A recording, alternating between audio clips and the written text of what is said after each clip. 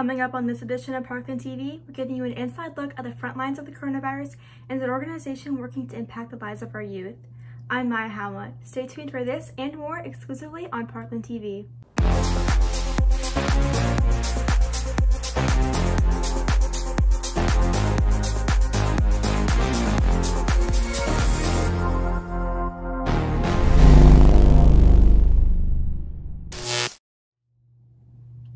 Back to the sixth week of Parkland TV Off the Air. Today is Friday, April 24th. All senior video submissions are due today to parklandsdtv at gmail.com. If you're a senior, you can submit a video with your name, school, major, and sport if you have one.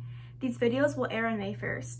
In addition, submissions for the Education Foundation's Parkland's Funniest Home Videos can still be turned in through the PHS website. To start our show, Mrs. Bennett has a message on behalf of the administration.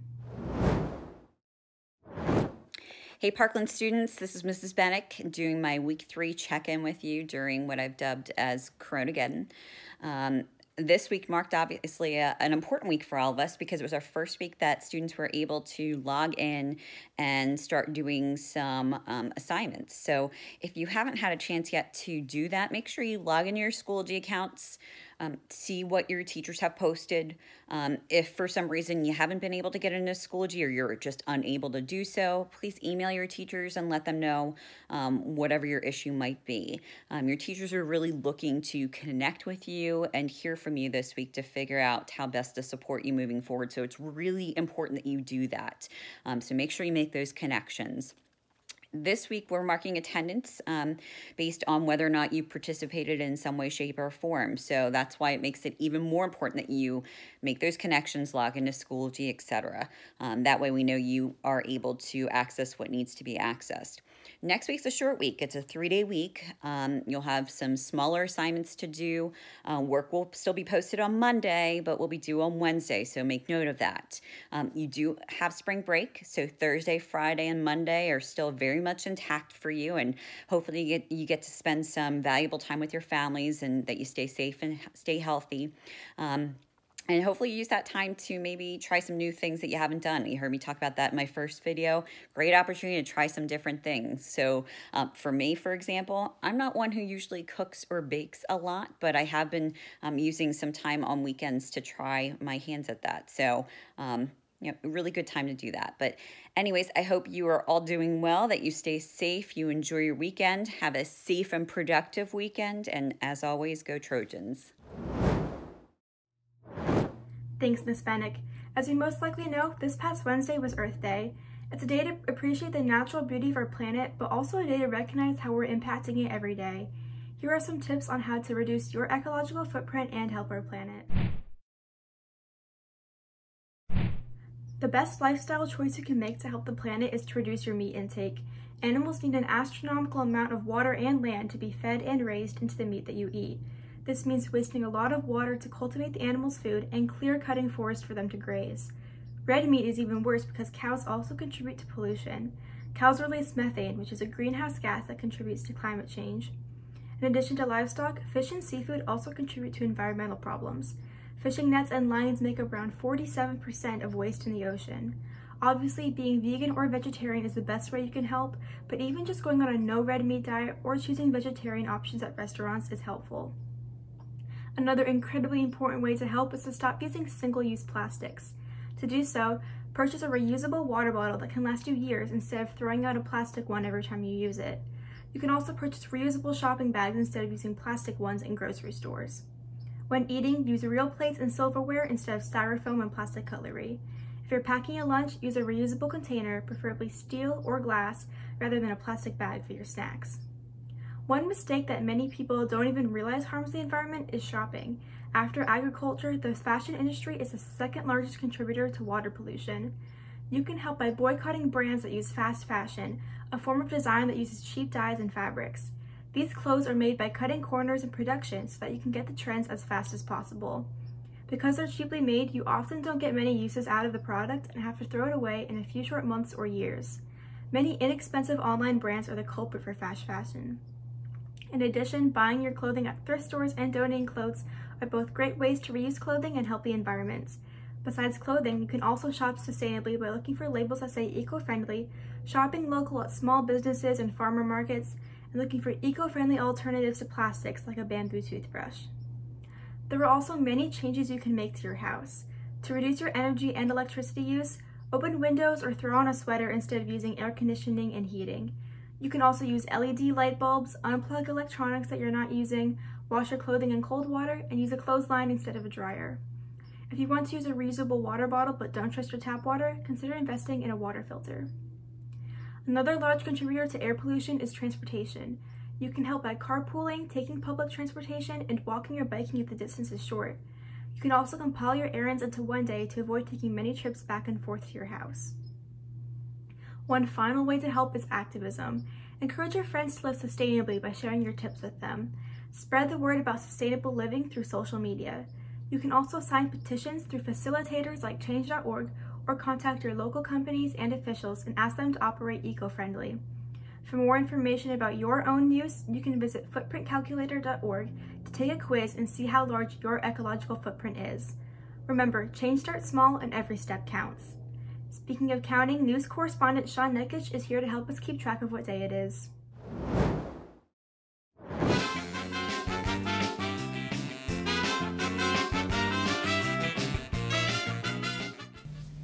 is. Friday.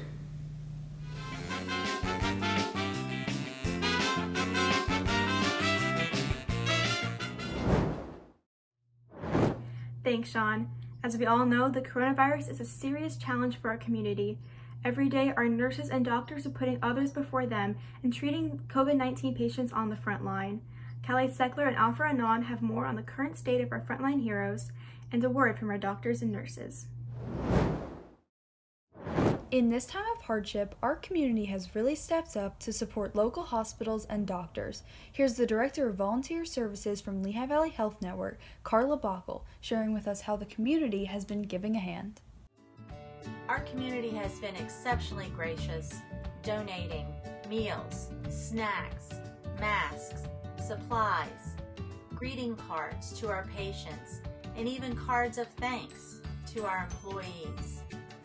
While our 1,500 volunteers across the network are not volunteering at this time, our volunteer services staff has stepped up to the plate and provided the opportunity to serve and deliver all of these things that have been given to our employees by the community.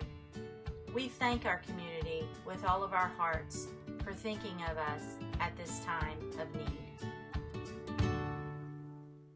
Another fun way the community has been helping out is by having different parades to show how much we appreciate the hard work all the doctors are putting into helping us.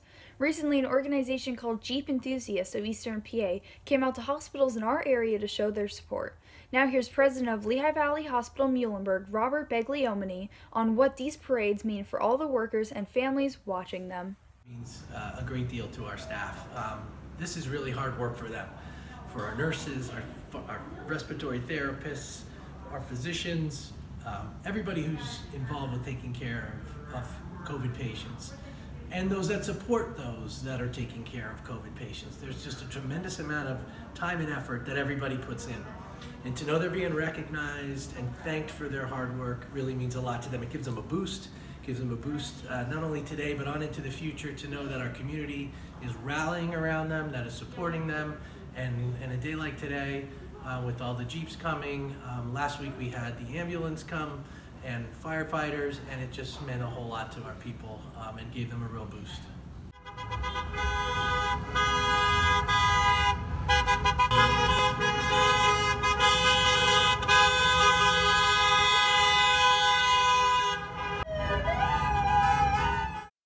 Also, here's a quick update on how the hospital is doing and how we can continue to win the fight against COVID 19. Uh, things at the hospital are going as well as expected. Um, our team has uh, done just a tremendous amount of work in really a very short period of time to prepare not only the hospital but the community that comes to the hospital uh, for care, whether that's care for a traditional illness or problem uh, and for COVID. Um, but everybody has masks. We wear them all the time. I'm not wearing it now for the interview, but we're all wearing masks. We all get screened when we come in the door. We have PPE for all our nurses and physicians and therapists and others. um, and other departments.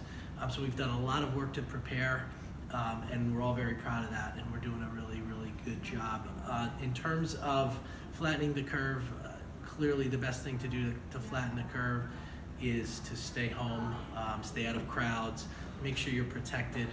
Um, and use good hand hygiene. Make sure you're washing your hands and using hand sanitizer, keeping a distance from one another. All these things, all of them are very, very important. And I think recently we're seeing that curve flatten a little bit, and so that's very encouraging news.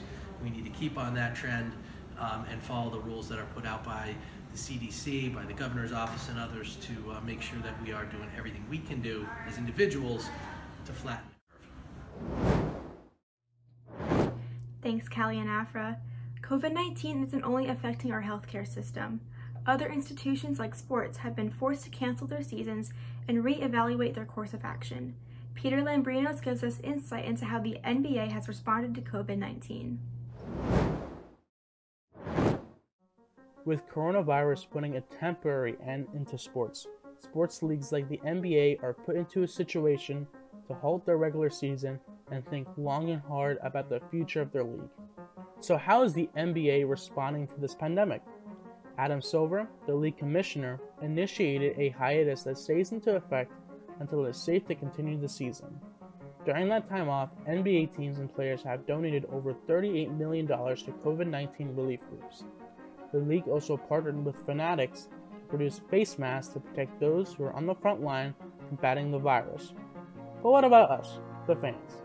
How does the league entertain and engage with their fan base that stretches all over the world without hosting a single basketball game? Well, the NBA has done a couple of ways to provide some sort of entertainment. On their YouTube channel, the league is posting well known games that go into the wire, like Game 6 of the 2013 NBA Finals, as well as highlights from every single team. Rebound Bosh! Back out to Allen! His three pointer! They also hosted a 2K tournament where players like Trae Young and Devin Booker showcased their video game skills, as well as a horse tournament where players like Chris Paul and Zach LaVine go shot after shot to see who is the ultimate champion. If you're more into documentaries, ESPN is airing a documentary called The Last Dance, an in depth live look on the 97 98 Bulls and how Michael Jordan won his sixth and final title. For Parkland TV Off the Air, I'm Peter Lambrinos. Now back to Maya. Thank you, Peter. In times like these, each person needs to take their own action to help prevent the spread of the disease. Alondra Reyes gives us helpful information on how and why to wash your hands amidst a global pandemic. Hello guys, today we'll be showing you how to wash your hands and to get all the bacteria out of your hands because it is very important to wash your hands during this quarantine because we don't want to get sick as well as we don't want to get corona. So, all you need is your handy dandy antibacterial soap and some hot water. So I'm going to show you how to wash your hands in a second. First, you want to turn on your hot water. Then you want to take your antibacterial soap and pump it in your hand and start going like this with your hands. Like that. A little water if you want to. Um, first, you want to get the outside of your hands like this. Make sure you go in between the fingers like that. Then you want to take your thumbs like that and start doing this. Then after that, you want to take your fingers and scrub in the palm of your hand to get all that dirt and bacteria out of your fingernails. And then you're going to repeat that same thing with your other hand and do it like this, facing it back. During this whole thing, you want to be singing a happy birthday song or any 30 second song that fits. And then you want to go like that in the water, take it all down. And basically, you're done.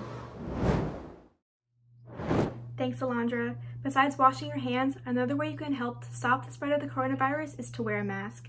This is why Governor Tom Wolf placed an order that all customers and employees must wear a mask. News correspondent Amanda Cohan has more on this developing story.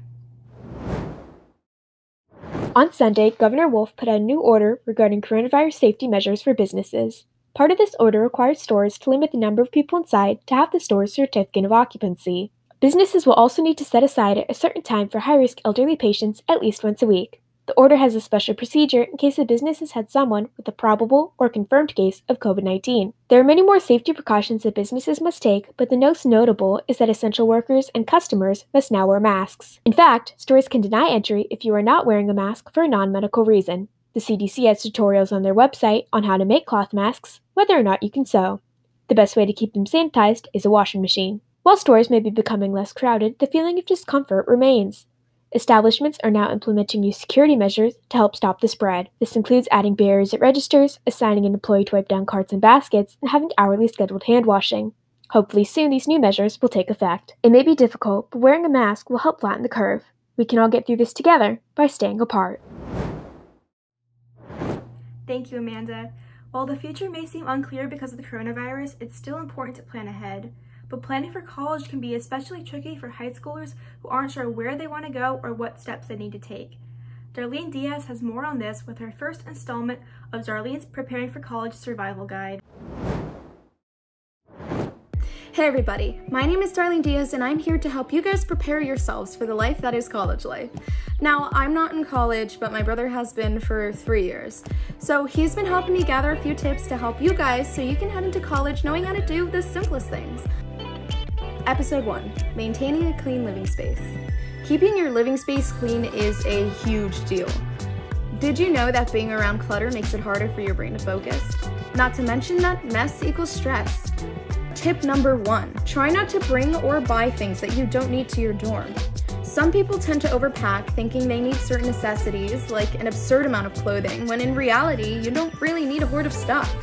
Of course, you want to have a little fun here and there, so it's not bad to pack a couple of games, but try not to bring your whole room to college.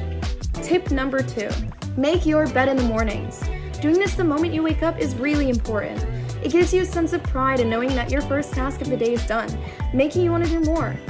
Not to mention that a messy bed doesn't look good in any room. Tip number three clean a couple of minutes a day. You don't have to go out of your way to clean. Take some time to clean while you wait for that video game match to start, or just take some time to clean while you wait for the food to finish cooking. Doing this every day will create a habit for you, leading you to clean up after yourself. Tip number four wash your dishes right after using them. This will lead to less mess, and you won't be stressing about when you should be doing the dishes, because you already did them. Tip number five designate a day to deep clean. Doing this will ensure that your living space is fresh and clean every week, keeping you healthy minded and healthy in general. Make sure to follow these tips so you can live comfortably in college. As for now, stay safe and stay healthy. I'm Darlene Diaz, and I'll see you next week with more advice. Thanks, Darlene. This year, Parkland TV was given the opportunity to visit Team of We Happyville, a nonprofit organization in Baltimore, Maryland that aims to improve disadvantaged communities by fostering change and inspiring youth. Here's an in-depth look on the impact that Team of We Happyville has on its community. You see a lot of different people. Some look like them, some don't look like them. But it's just a holistic approach to be a better person, and that's what we're trying to do, man. Just attack it on all levels and understand we over me. We can do great things together, but it starts with agape love and understanding Happyville is a choice. It's a mindset to say I'm taking control of my happiness, and it's not based on money, cars, clothes, social status, or how you look on the outside. It's from within, and it's positive. It's not a negative behavior. So. i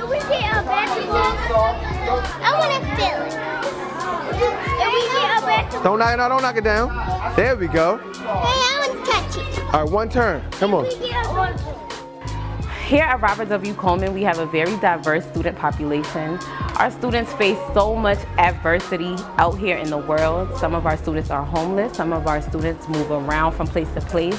Some of our students have no structure at home. So it's very important when they are here, they are in a structured environment. We're teaching them that education is the key to the future. A lot of kids, they go through stuff that, you know, a lot of adults haven't even been through at a young age. So it's like trauma, like we post-traumatic stress, like people in the service go through.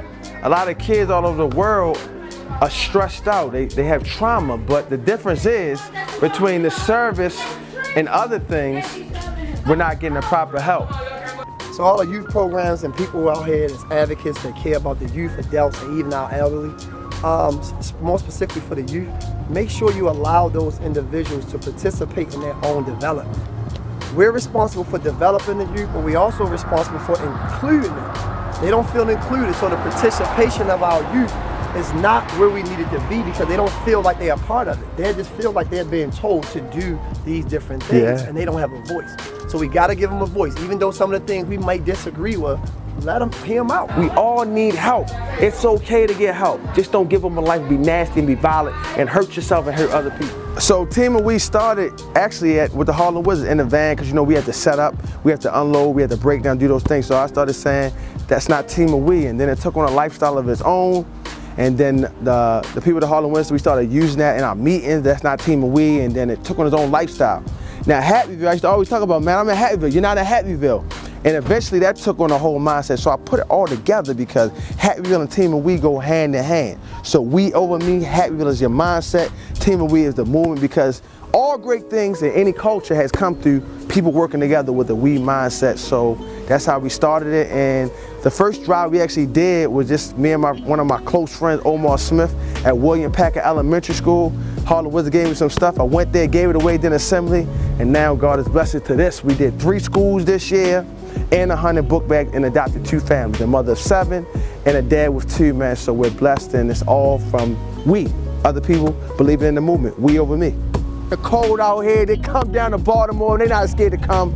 Man, we love everybody, agape love for everybody, Happyville for everybody. We're gonna take one person at a time to Happyville. We will break this cycle of hate and violence. Anybody that wants to help, help us out. Help us buy the block and turn it into Happyville. Do it for good. I know somebody out there got that bread, Come on, get that bread and somebody's gonna change. We're gonna buy the block and take it to Happyville. We love everybody. Thank you so much.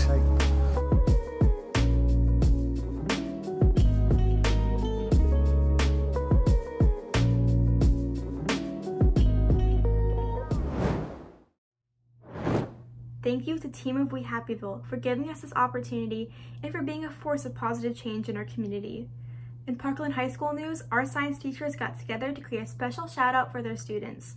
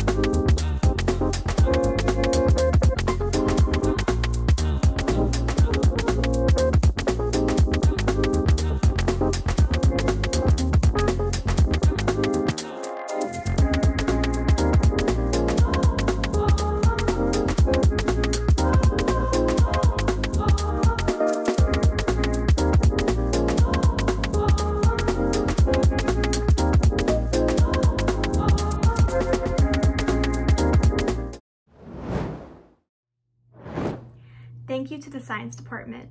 Parkland High School and other schools in the district all had their spring sports seasons cut short. Last Friday, their scoreboards were lit up to commemorate seniors and athletes who weren't able to play their sport this year. To close out our program, news correspondent Ken Carbonetti has more on this story.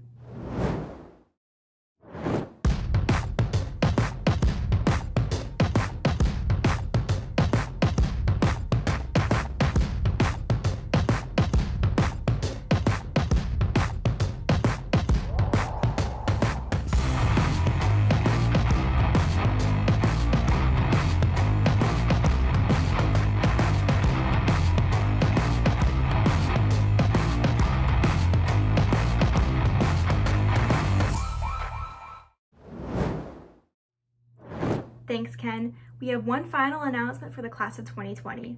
This week, Parkland released guidelines and more information for ending senior year, including updates on graduation, prom, and other festivities.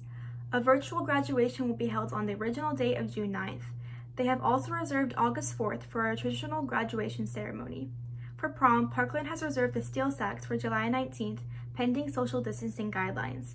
More information for the class of 2020, including cap and gown distribution, scholarship recognition, and senior shoutouts, can be found in the class of 2020 section under students at phs.parklandsd.org.